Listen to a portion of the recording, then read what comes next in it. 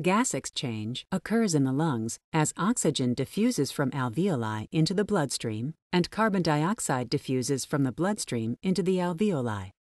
Dalton's law explains that in a gas mixture, the pressure exerted by each gas is independent.